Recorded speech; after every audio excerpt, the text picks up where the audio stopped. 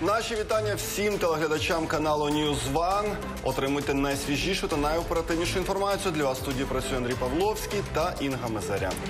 Вітаємо вас. Отже, розпочинаємо ми сьогодні, як завжди, з двома гостями, щоб отримати більше фахових думок. Отже, вітаю у своїй студії. Нерибай Єрмєк, політолог. Дякую, що ви Вітаю. з нами. У моїй студії Лариса Дроздова, медіаексперт. Добрий день вам. Доброго ранку. Отже, така тема перша. Підозру отримав запобіжний захід для заступника міністра з питань тимчасово окупованих територій Юрія Гримчака оберуть найближчим часом. Йому інкримінують шахрайство. За словами адвокатів, у підозрі йдеться, нібито помічник Гримчака Ігор Овдієнко діяв від імені посадовця і обіцяв. Заступник міністра, користуючись службовим становищем, допоможе вирішити питання. Нагадаю, затримали Гримчака у вівторок ввечері під час отримання хабаря в розмірі 450 тисяч доларів. Водночас у Мінтоті заявили, затримання не пов'язане з його роботою. жодним чином ті дії, в яких звинувачується Юрій Гемчак, вони не стосуються ні виконання ним службових обов'язків, ні взагалі нашого міністерства. Але Артем погодився з моєю такою позицією, але зазначив, вибач, друже, тут прес-конференція скасована, бо ми не вважаємо, що потрібно щось додатково пояснювати. Реакція міністерства з тимчасово окупованих територій щодо за затримання Юрія Гримчака мала б бути іншою, адже не можна казати, що хабар їхньому співробітнику не має відношення до Мінтот. Таку думку висловив юрист Андрій Портнов. Послухаємо. Нельзя говорить о том, что это не имеет отношения к министерству. Это имеет отношение к министерству. Если бы фигурант Крымчак не был бы заместителем министра, никто бы не обращался к нему с взяткой в миллион долларов. То есть именно благодаря тому, что он получил влияние как один из правительственных чиновников, он и создал ощущение, что именно он может быть проводником такого рода взяток. Напередодні НАБУ розкрила нові подробиці в справі Гримчака. За версією слідчих є дві так звані схеми. Перша спрямована на отримання хабаря на суму 80 тисяч доларів за вплив на голову касаційного суду, щоб вирішити проблеми приватної фірми. Друга схема передбачала отримання мільйона доларів. За інформацією детективів НАБУ, ці гроші, начебто, мали розділити між посадовцями Мінкульту, Мін'юсту, КМДА і Інституту культурної спадщини, щоб е, тій же приватній фірмі надали будівельні дозволи на певних земельних ділянках столиці. Ну і слідство наполягає на арешті Юрія Гримчака і Ігоря Овдієнка. Про це в ефірі телеканалу NewsOne заявила адвокат самого Гримчака Тетяна Матяш. За її словами, захист проситиме найменшу міру запобіжного заходу. Давайте послухаємо. Слідство буде вимагати максимально важкі, тобто вони будуть просити, щоб людей заарештували. І що якщо ну тобто КПК вимагає, щоб в таких злочинах було за- е, обов'язково зазначена заставу. І вони будуть максимальну заставу кілька мільйонів просити. А звісно, я буду просити найменше, е, що можна. Е, Це особисте зобов'язання. А тут вже буде вирішувати суд, хто з нас буде більш красномовніший і більш доказовий. Пане Нарембаю, вітаю вас ще раз. І от е, в мене перше питання. Зрозуміло, що ми не слідство, ми не суд. Ми не можемо встановити, чи є пан Юрій Гримчак винний, е, чи він е, невинна людина. Але от. Е, Це відбувається зараз під час, скажімо, такої передачі повної влади. В нас е, Верховна Рада йде, інша вже починає працювати. Е, Кабінет міністрів виходить з відпустки, але ми розуміємо, що він е, також вже ненадовго. Юрій Луценко він продовжує бути на своїй посаді, але і це. Як прогнозовано ненадовго, і от відбувається таке. На ваш погляд, е, чи є у цьому якийсь політичний зміст, чи ну знаєте, слідство і слідство? Ну, поменялось руководство СБУ. НАБУ получила уверенность, что сейчас руки развязаны, нужно себя показать. А, имея свою будущую перспективу руководства, сохранение руководства. Поэтому, я думаю, а, все развернулись. После смены а, генерального прокурора, а, хотя у него больше срок, чем сегодня, он не оканчивается с, с окончанием срока президента Порошенко, но, тем не менее, парламент в руках Зеленского, он имеет право, возможность провести небольшое расследование и предъявить обвинение, которое будет говорить о недоверии генерального прокурора и тем самым потом дальше его поменять. А, Но вся эта ситуация говорит о том, что вообще в целом система не работает. Генеральная прокуратура а, является тормозом для всех следственных органов, для органов расследования. И она тормозила. И уже во всех э, НАБУ, э, в ДБР, в СБУ накопилось очень много материалов дела в отношении а, многих фигурантов.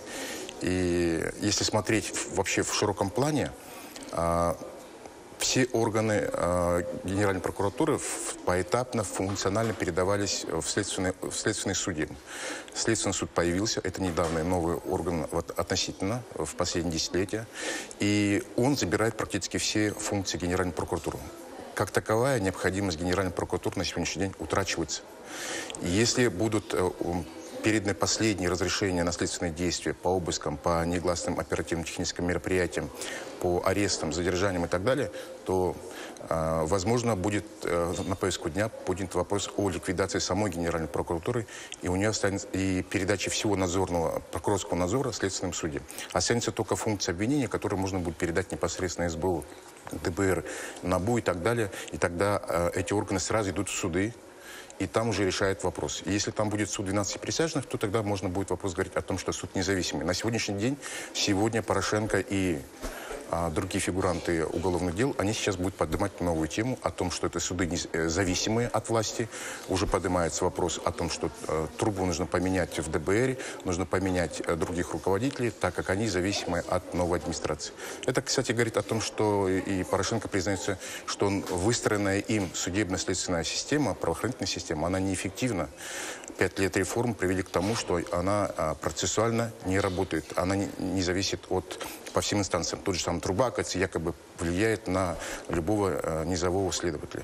С- Понятное дело, что сейчас переходный период, и будут просто обвал э, по всем делам, будут э, массовые аресты, обыски и так далее. Это просто момент э, смены власти. Сейчас он повлиял э, из-за того, что С- СБУ активизировался сменой гу- руководства. Зрозуміло, почули вас. Андрію, передаємо слово вашій студії. Дякую тобі, Інго. От хочу зазначити, що керівник е, безпосередньо групи прокурорів управління спецрозслідування ГПУ Олексій Донской заявив про те, що у всіх е, провадженнях, які були стосовно пана Гремчака, ні керівництво Генеральної прокуратури, ні генпрокурор, ні керуючий заступник генерального прокурора не знали про цю спецоперацію. Є кілька варіантів. Як ви вважаєте, це все-таки знаєте, оскільки пан Луценко особисто знав е- Гримчака, чи через оці, знаєте, постійні конфлікти, які виникають між антикорупційними органами та Генеральною прокуратурою? Звичайно, ці конфлікти існують, і е, вони в такому перманентному стані знаходяться між е, НАБУ, САП і ГПУ. Але е, ну як мінімум з 2005 року пан Луценко знав і співпрацював з Гримчаком. З приводу операції точно сказати неможливо, неможливо. Є ем, так би мовити, ми можемо тільки прогнозувати чи догадуватися е, про те, що він, е, пан Луценко, я маю на увазі, як і міг знати про цю спецоперацію, так і не міг знати. Але е, ну дуже великий такий сумнів, що він таки не знав про цю операцію. Мені здається, що це такий, знаєте, фінальний такий фєєрверк від Луценка.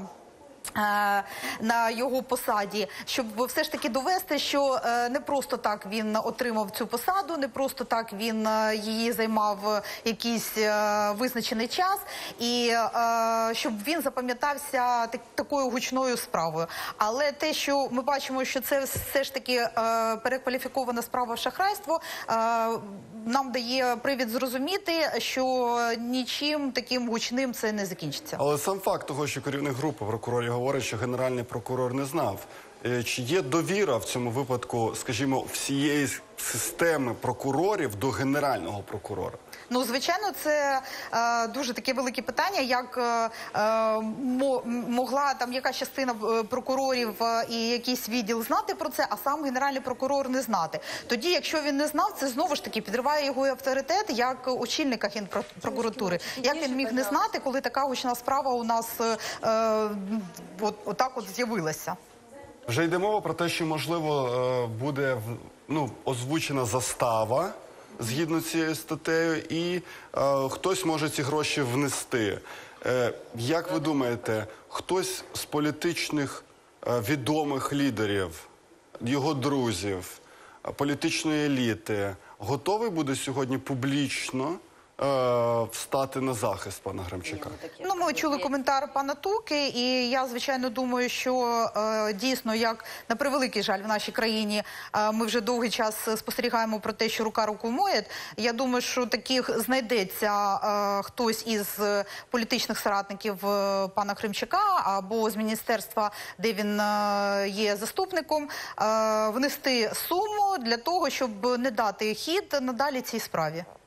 Якщо ми дивимося на сьогоднішній день, у суспільства виникає, знаєте, от е, е, запит на те, що е, як би там не було е, по закону, але вимагаємо найсув- найсуровішого покарання. Знаєте, от е, пам'ятаємо історії з гелікоптерами, коли звозили податківців.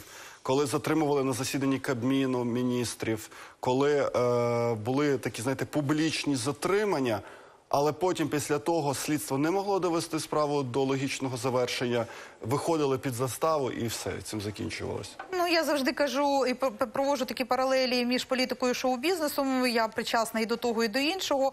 Е, тому у нас такі е, справи це більш шоу, ніж е, е, справи, які закінчуються покаранням, знаходяться е, винні, винні притягуються до відповідальності. Е, на превеликий жаль, це більше таке шоу.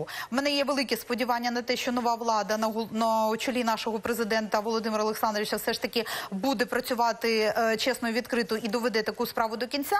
І е, велика надія на пана Портнова, який також дав коментар, що він також цим займається, і тому буде такий фінал е, цій справі. З- приводу суспільства дійсно суспільство чекає дуже великі сподівання від суспільства з огляду на президентські парламентські вибори е, на нову владу, і е, суспільство чекає дій від нової влади. Е, чим це все закінчиться? Е, я думаю, що нічим. Почули вас, Інго, будь ласка, у мене запитання до твого гостя. Як ви Будь ласка. вважаєте, е, те, що сьогодні пан Луценко ще залишається генеральним прокурором, чи може він якось встигнути вплинути на слідство? Ну, вообще, в принципе, вот, кстати, возвращаясь к предыдущему моменту, э, что Луценко не знал. Если бы он знал, то не случилось бы и этого ареста. Мы же понимаем, что так как близкий друг, он вполне возможно являлся его и крышей. И вообще, с другой стороны, процессуально, слава богу, э, на сегодняшний день есть следственные суды, которые фактически заменяют во многом прокуратуру. И только благодаря санкциям суда был произведен такой обходной маневр а, с соблюдением тайны, а, секретности от э, аппарата прокуратуры. Поэтому прокуратура и не знала об этой спецоперации. А, Я думаю, что все-таки мой коллега, думаю, все-таки, наверное, не прав, потому что, я думаю, Зеленский сейчас заинтересован в том, чтобы крупные фигуранты, особенно предыдущей власти, а, пошли под откос, пошли под суд, под приговор. Я думаю, ничего э, здесь серьезного нету. Дело простое на самом деле. Есть видеозапись, с поличным взят человек Вопросов, мне кажется, нет. С другой стороны, просто надо... э, с- Осудит-то осудит. Вопрос только в том, чтобы создать, повторяю, систему, при которой даже сторона защиты, сторона обвиняемых не будет предъявлять претензии особо к приговору, если будет суд 12 присяжных, который обеспечит возможность для обвиняемых це, выбирать. це зовсім нова система, якої в Україні немає. Пам'ятаємо, що Юлія Тимошенко також е, хотіла, щоб е, її справу тоді ще розглядав е, суд присяжних. Але Я от, поспорю. Е, так, але е, от е, питання до того, ви кажете там, е, бачили відео е, і тепер все, зрозуміло. Але ми, ну знаєте, за ці кілька років дуже багато відео бачили, і у Верховній Раді ми бачили, і щодо пана Масійчука, і щодо пана Розенблата, і щодо Надії Савченко, так і жодна з цих справ не була доведена е, у суді. Тобто, ну тут, е, тут знову може на антикорупційний суд вже треба розраховувати, що ми будемо мати вже конкретну відповідь, е, чи винна людина, чи не винна. Що зараз просто до судів е, немає і до правоохоронних органів немає тієї довіри, що суспільство, навіть коли вже є вирок, не впевнено, що він є справедливим. Скепсис, конечно, есть, и предыдущий опыт, конечно, говорит о том, что есть большая опасность такого. Но для Зеленского а, это не является другом. А, мы же говорим о ситуации, когда Ли Куан Ю в Сингапуре говорил, что нужно посадить своих друзей, чтобы по- показать на самом деле народу а, решительность в борьбе с коррупцией. Если здесь является не друг, то а, и тем более есть огромный запрос общества на посадку. Я думаю, что нет никаких проблем сейчас посадить а, людей из предыдущей власти, тем более из э, круга оппонентов. А, другое дело, повторяю, что сейчас в порядке эксперимента уже можно ввести, допустим, в рамках Харькова или Киева а, суд присяжных и посмотреть, и чтобы успеть по этим судам экспериментальным а, в рассмотрение вот этих дел, в том числе Порошенко. А от е, ще одне питання: те, що ем, зараз Юрій Луценко у перший же день написав у своєму Фейсбуці соромно за нього, але це наочно показує, що ГПУ закон один для е, всіх. От е, ми можемо сподіватися на все ж таки А те, що йому що делать? справа справа буде не заангажованою а, з боку Генеральної прокуратури України. Ему сейчас э, другого выхода не оставили, поставили перед фактом, и ему сейчас мараться об защиту своего а, друга, я думаю, сейчас не стоит, поэтому он это понял и пытается сохранить э, хорошую мину при плохой игре. Зрозуміло, почули вас, Андрій, будь ласка. Дякую тобі, Інго. Ми будемо рушати далі. Отже, в Київ відправляють вже традиційну баржу зі смачними херсонськими кавунами. Коли її очікувати та інші подробиці знає наш кореспондент Василь Калаберда. Пане Василю, добрий день. Будь ласка, вам слово. Вітаю студія. Зараз ми знаходимося на одному з терміналів під містом Гола Пристань Херсонської області. Е, і тут вже зовсім скоро на Київ відправиться чергова баржа зі смачними херсонськими кавунами. Е, тут зараз е, останні приготування. Андрій показує, будь ласка, я буду розповідати. Усі кавуни, які ви зараз бачите, були придбані у місцевих фермерів. Вони прийшли усі перевірки, тому вони не тільки смачні, але й корисні. І в цьому році їх назбиралося аж 500 тонн. Як і у минулому році, тоді їх теж було 500 тонн. Але наступного року фермери пообіцяли, що поб'ють усі рекорди, та їх буде ще більше.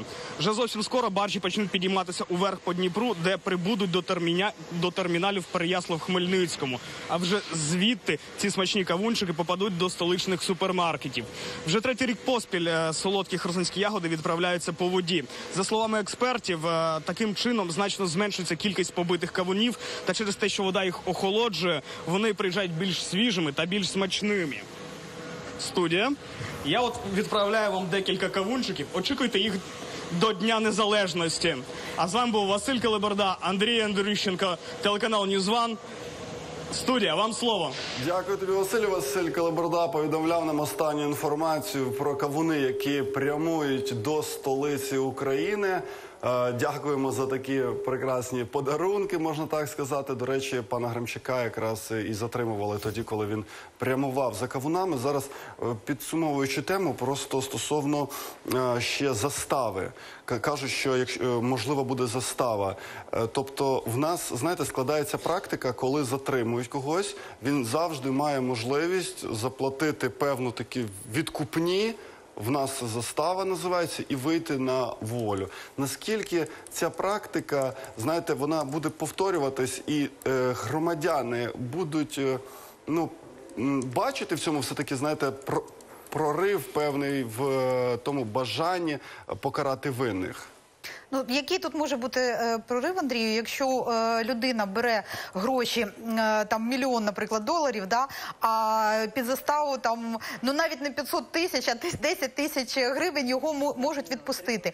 А як люди можуть довіряти, як люди можуть взагалі м, дивитися в майбутнє е, і е, очікувати, що винні будуть покарані, що у нас вже е, е, е, буде подолана корупція, що е, кожна е, влада, яка приходить, буде виконувати свої обіцянки. Але ж це бачите, застава, вона в законі прописана і вона дозволяє виходити. Значить, треба міняти відкупні. закони. Треба міняти закони, тому що дійсно е, корупцію ніколи не подолати, якщо у нас буде завжди е, можливість відкупитися, е, взяти мільйон і вийти там під 10 тисяч чи під чи під 100 тисяч. Ну звичайно, це ду- дуже так. Е, м, Соблазнітельно, да, російської мови Е, взяти мільйон і заплатити заставу, вийти і продовжувати собі і, е, і надалі брати гроші за вирішення питань. А можливо, знаєте, ще проблема в тому, що немає вироків в результаті, навіть коли вийшли під заставу, і все просто ходять, і справа І там перепродовжується так. десятками років. Просто Так, нічим це не закінчується. Я ж про це і кажу. Що людина виходить, заплатила, відкупилася, продовжує собі жити, займати високі посади і і продовжує е, заробляти гроші нечесним е, шляхом. Почули вас, Інго, будь ласка, тобі слово. Так, продовжуємо. Давайте рухатися ефіром. 23 комітети замість 27. Раніше йшлося про 22 комітети нового скликання Верховної Ради. Але напередодні додали комітети з питань молоді та спорту. Крім того, з'явився комітет з питань соціальної політики та захисту прав ветеранів. Деякі невеликі комітети об'єднали в один, скасували спеціальну контрольну комісію Верховної Ради України з питань приватизації. Такі кроки зробили, щоб оптимізувати роботу парламенту, розповів представник президента у Верховній Раді Руслан Стефанчук. Почуємо. З тим, щоб в нас не було малюсіньких комітетів, а щоб в нас були серйозні повноцінні комітети з нормальними секретаріатами, з нормальною роботою, з нормальними нормативно-правовими актами, проектами, які будуть вноситись на розгляд парламенту, з якісними, тому що в нас є комітети. Ефективність велика, а в результаті 2-3 законопроекти в цілому прийнято. Ми повинні усвідомлювати інше, що робота Верховної Ради це також робота, яка повинна оцінюватись ефективно з боку суспільства. Представники новообраної влади відмовилися виокремити комітет, який займався б урегулюванням ситуації на Донбасі. Про це повідомив співголова партії «Опозиційна платформа за життя» Вадим Рабінович. Почуємо. Можем сказать, что, к сожалению, глубокому не принято наше предложение о создании отдельного комитета по особым вопросам Донецкой и Луганской области. Мы много времени обсуждали, к какому комитету отнесутся частные космические полеты, которые начнут происходить в нашей стране. Это, конечно, все класс, но те вопросы, которые сегодня реально стоят перед страной, так оказалось вне комитета. Пане Наримбай, от е, давайте з точки зору от цього останнього комітету, про який е, говорили. е, як ви думаєте, чому е, його не буде у Верховній Раді? Тому що ну знаєте, е, чи не чують опозицію, чи є вже план у Володимира Зеленського щодо урегулювання і не потребує він особового е, особливого комітету? От у, у чому питання, як ви думаєте? Ну, здесь нужно спрашивать прежде всего у правящей партии, правящая партия «Слуга народа». И их мнение пока, к сожалению, не озвучено. С другой стороны, не поднимается другой вопрос. Вот э, это же голос сейчас поднимается одна из оппозиционных партий, а вопрос о защите прав меньшинства в парламенте, о гарантиях э, оппозиции, о контрольных функциях парламента и оппозиции практически ничего не говорится. А, традиционные комитеты почему-то забираются у оппозиции. Слуга народа, пользуясь большинством, решает вопросы, скажем так, напором, нахрапом. А, К сожалению, контрольные функции в оппозиции отсутствуют, и это большая проблема не сколько оппозиции, сколько Украины. На ближайшие пять лет э, парламент никак не будет контролировать э, фактически э, правительство, президента и так далее. Это большая проблема. А, Майданы происходили в Украине именно из-за вопросов контроля за властью, из-за контроля за злоупотреблением властью. Центральная избирательная комиссия, счетный комитет, а, комитет по контролю за спецслужбами, а, регламентный комитет, а, телерадиовещание. Все это должно быть в ка- в какой-то степени, э, включая должности председателей, контролироваться оппозицией. И тогда, на самом деле, не возникнет какой-то опасной ситуации, которая возникала при предыдущих президентах, когда они уже переходили грань и в отношении, помните, и Садового было, и в отношении Саакашвили было, э, все вот эти моменты. Э, Мне кажется, проблема дисбаланса, она сегодня существует. Сегодня парламент, правящая партия, кабинет министров, президент находятся в руках одного человека. Красная линия очень сильно близка, и распределение комитетов здесь важно именно в этой плоскости. Счетный комитет, у кого, кто будет председателем и у кого будет контрольный пакет, а, тот же самый регламентный комитет и так далее.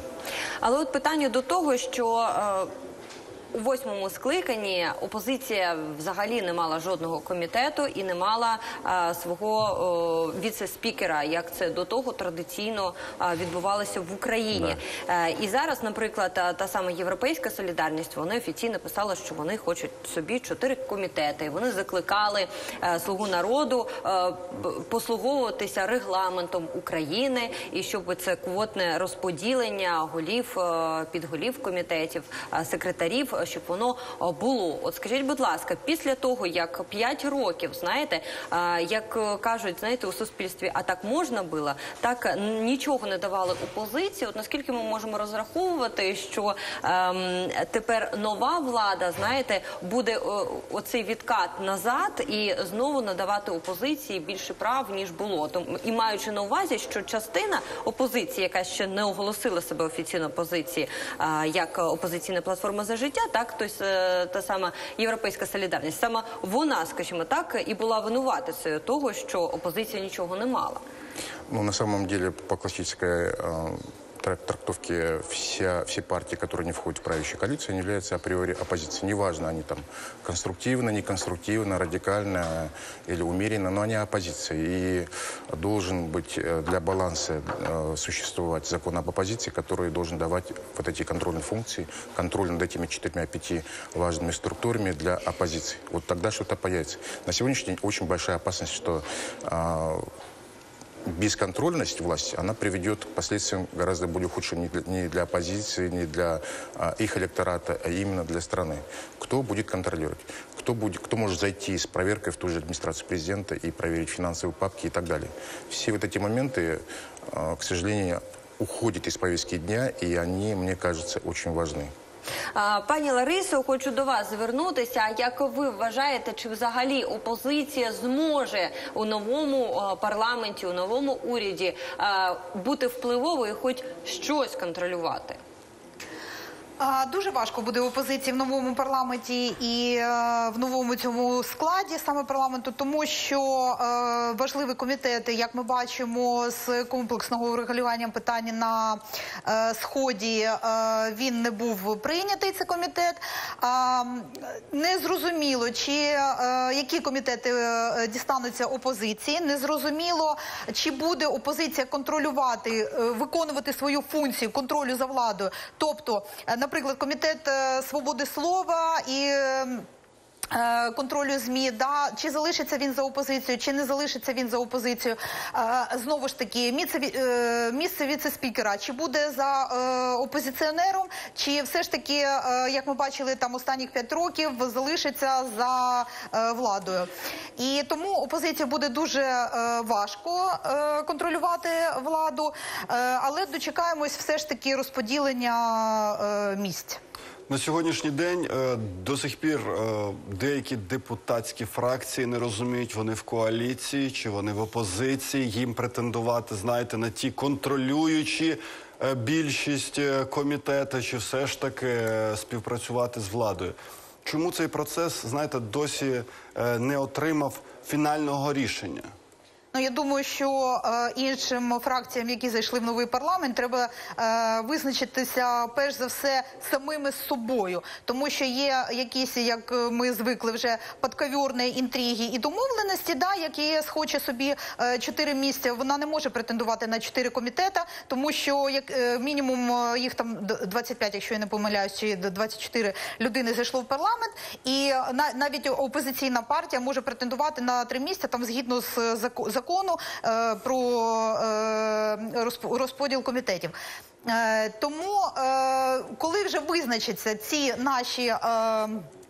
Фракції, які зайшли в новий парламент самі з собою, тоді ми вже зрозуміємо, чи вони такі в опозиції, чи вони таки будуть домовлятися, тайно зустрічатися з олігархами і домовлятися про те, як вони будуть жити наступні п'ять років з новою владою. Інго, будь ласка, я бачу, що у вас є репліка, так? Так, так. А, вот м, просто забываем еще и прошлое. А, Когда оппозиционный блок в, бу- в прошлом, как партия регионов, будучи у власти, а, не принимала а, вот все законы, которые касаются закона об оппозиции, защиты прав меньшинства и контрольных функций парламента, она, перейдя в оппозицию, обжигается и локти кусает от того, что она это не сделала. Предыдущая власть, Порошенко, БПП, Народный фронт, не принимая, опять же, законов об оппозиции, перейдя, потеряв власть, сейчас локти кусают о том, что они этот пакет не приняли. Какова гарантия того, что Зеленский завтра, через пять лет, через какое-то время, а, не будет локти кусать от того, что он, и, перейдя в оппозицию, не имеет никаких контрольных функций за властью? Этот круг повторяется раз за разом. А, ну і зараз а, хочемо долучити до нашого ефіру ще одну думку. Володимир Цибулька, політолог. Добрий день. Так, вітаємо вас, пане Володимире. От е, зараз говоримо про е, комітети і про розподіл їх у Верховній Раді. Вже знаємо скільки їх буде. Е, як ви вважаєте, наскільки зараз, от маючи на увазі все, що відбувається, опозиція може бути не тільки там, знаєте, конструктивною, але й ще й впливовою? Наскільки взагалі є шанс, що її будуть чути у керівній партії? Ну е, тут є кілька факторів. Перше, е, скільки в нас опозицій, які це опозиції, і як, е, як об'єднані права опозиції треба захистити. Це одна частина. Друга, все-таки традиційно для балансу інтересів в суспільстві, для єдності певної е, права е, опозиції мають бути захищені. У нас е, з революційною доцільністю на у восьмому скликанні позбавили опозицію будь-яких прав. Ну є така гірка правда. Правда, через рік з'явилося вже декілька опозицій, і перерозподілу комітетів так і не відбулося. Тому здавалося б, ситуація вирівнялася. Але зараз, е, як мінімум, треба е, обговорювати два фактори: це контрольні функції опозиції, е, це свобода слова, права людини, регламентний комітет, бюджетний комітет і комітет законодавчого забезпечення правоохоронної діяльності і комітет по боротьбі з оргзлочинністю і корупції. О- Оці функції принципі, мали би бути передані е, цьому е, опозиційним е, групам. А счетный комитет, он слышит меня? Так, чують, будь ласка, Е, так. Так, ну ну е, е, то це трохи е, е, рахункова палата, так так само може Прежде бути. всього. Ну але там рахункова палата е, там вона сформована на 7 років. Так що е, е, е, лічильну комісію ще, е, як правило, передають. Не, не комітет, комісію. Пане Володимире, а чи має опозиція тоді між собою домовлятися, які функції матиме опозиція? І чи реально, що е, в тому е, вигляді, в якому є сьо- нинішній формат опозиції, мається на увазі сьогодні чотири фракції, е, вони зможуть знайти консенсус і порозуміння в цьому питанні? Ну, в ході е, робо- е, засідань робочої групи е, бу- була, ну скажімо, певна консолідація і спільність позиції батьківщини і європейської солідарності і голосу проглядали ситуативно. Але мені здається, що е, перед, перед якою дилемою ми стоїмо. Е, Справді, слуга народу спробує створити одноосібний уряд. А потім, десь через рік, розуміючи, що е, ну жодна із е, великих, жоден з великих проєктів не реалізується, вони спробують все таки е, перед потребою зміни змін до конституції переглянути і створити таку коаліцію. І швидше за все, от зараз, як мінімум. Треба, щоб е, е, кожна із е, фракцій опозиції отримала свій комітет, як мінімум один. Тут питання е, ну, по-перше, якості спеціалістів. По-друге, ми розуміємо, що е, зараз оголосимо, що бюджетний комітет буде переданий опозиції, і всі чотири фракції війдуть повним складом туди. Тому тут треба якось перестрахуватися, і як мінімум е, головами комітетів мають стати. Е, е, Представники опозиційної фракції, першими заступниками представники опозиційних фракцій якоїсь, а секретарем е, від Слуги народу. Пане Володимире, от ви кажете, що за рік нічого не вдасться, і потім будуть робити коаліцію. Які е, вас ну яке підґрунтя у вас, е, щоб казати, що нічого не вдасться? Тобто, це якась інсайдерська інформація? Ні, не інсайдерська. Е, Просто враховуючи попередній досвід е, роботи цієї команди, можна сказати, що перші граблі, які їм підсунуло життя, вони успішно наступили на них. Мова йде про е, вибори до парламенту на старій законодавчій основі. Так, справді, слуга народу набрав багато партія набрала багато голосів, але вона і отримала одноосібну відповідальність. Далі на е, наступний рік на порядку денному вибори до органів місцевого самоврядування і за яким законодавством вони пройдуть. Оце питання. Як будуть сформовані? Адже за діючим законодавством районні ради, міські ради і обласні ради е, суб'єктами висування е, є партії на цих виборах. Тобто для слуги народу здавалося е, це е, вигідно.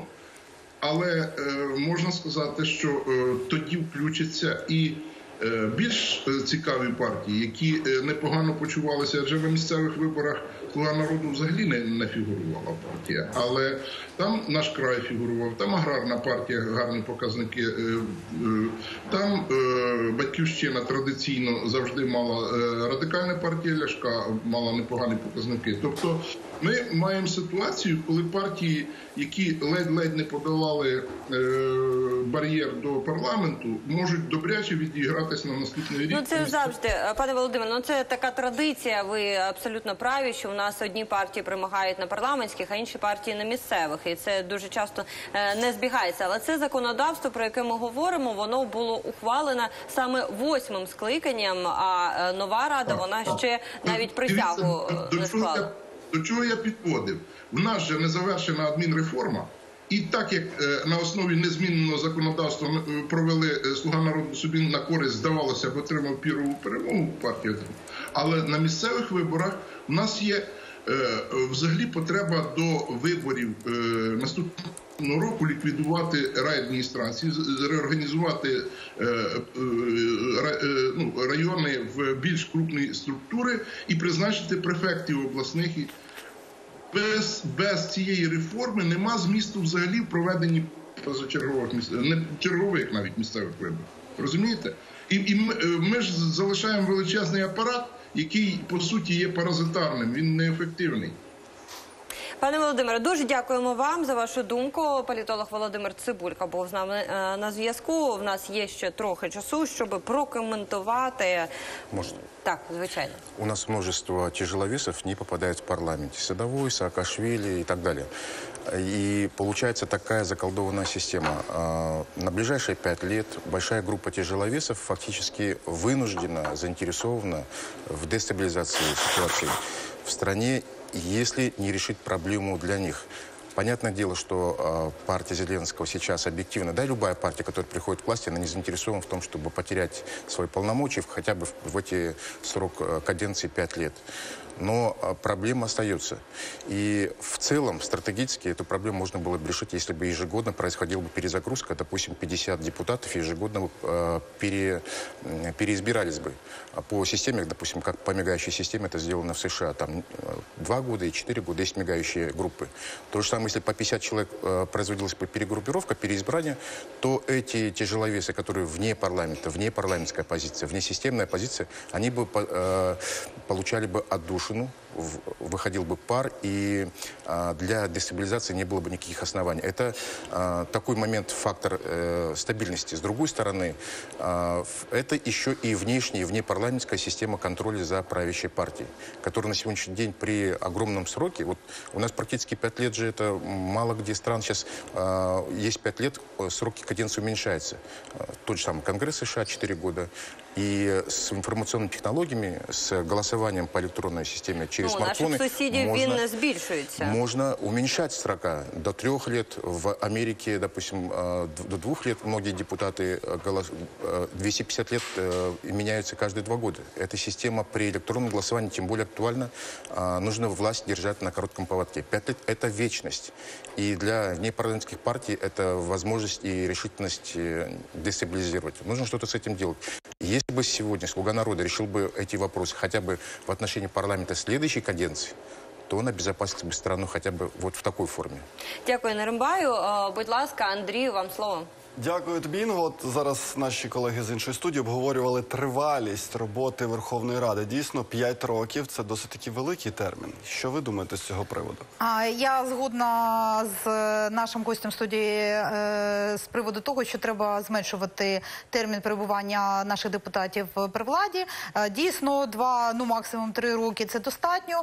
Але е, знаєте, це може е, такий отримати зворотній ефект, тому що наші депутати будуть розуміти, що часу в них ще менше залишилось, тому треба е, гроші брати ще більше і об- збільшувати ставки на вирішення питань. Ну будемо сподіватися, що все ж таки е, новий парламент е, зрозуміє, що 5 років це забагато, і депутати мають е, е, розуміти, що е, за цей термін вони мають себе показати і зробити для людей щось добре для цієї країни, е, закони, поліпшити життя. Е, тому я хочу за- так закінчити на оптимістичній ноті. Будемо сподіватися, що все буде добре. Але ви ж розумієте, що будь-яка ідея знову ж таки е, опозиція може або підтримувати її, або просто нещадно критикувати. І тоді в суспільстві, знаєте, може з'явитися така неоднозначна позиція щодо будь-якої в принципі ситуації.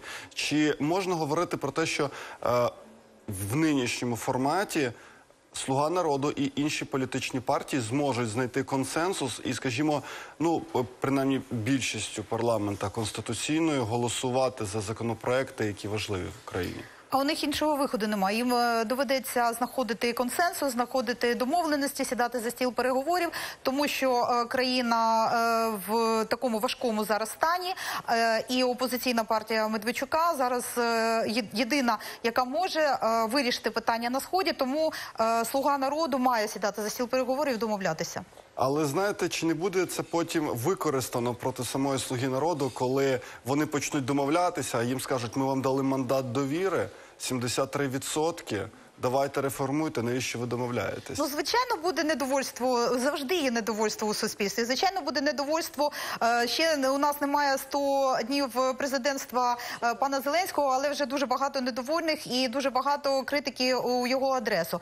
Але е, знову ж таки, опозиційна партія Медведчука зайняла друге місце, тому немає іншого виходу, як сідати і домовлятися. Будь ласка, репліка Інга, вашій студії. Вот когда говорят о внешних факторах контроля за властью, мы часто забываем о местном самоуправлении. У нас с 2001 года существует закон, подписанный еще Кучмой, но он не работает, имеется в виду органы самоуправления населения, ОСН, а, для которых для регистрации нужно проводить целый референдум, собирать подписи 51% населения. Это, а, по большому счету, геморрой. И на самом деле ОСН созданы на территории Украины и в Киеве, в любом городе в количестве не больше 5%. Это большая проблема. А, Если, допустим, одним указом одномоментно зарегистрировать и приказать э, значит, местным администрациям, районам и так далее провести первые выборы и регистрацию, там, в, то- в том числе и границы этих кварталов и сел, провести э, первые выборы, то, я думаю, а, это даст большую сподвижку к э, усилению местного самоуправления. Потому что то, что мы видим бардак, даже элементарно грязь в каждом квартале, это признак того, что э, главы районных администраций не, не дотягиваются до этих проблем. Дуже дякую. Наримбай Єрмєк, політолог, Дроздова, е, Лариса, медіаексперт, були гостями нашої студії. Далі Андрій Павловський, Гамазарі. Ми з вами прощаємося до нової години. Передаємо слово Світлані Шевченко.